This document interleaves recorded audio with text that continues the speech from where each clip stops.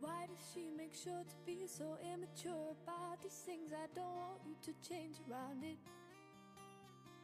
In some time, this love will end and all will be forgotten. Then, yes, someday we will laugh about it. And you say it's alright, and I know that it's a lie. From the black in your eyes, you don't have to do on your own. Like there's no one that cares about you. You don't have to act like you're alone. Like the walls are closing in around you. You don't have to pretend no one knows. Like there's no one that understands you.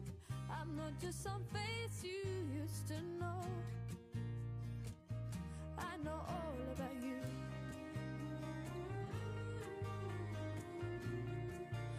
you should know that someone cares about you. I know all about you.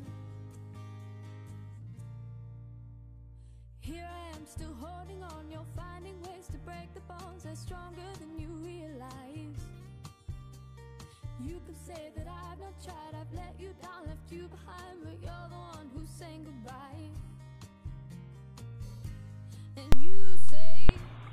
So I was on Facebook and I seen this video of Kiss Your Pitbull.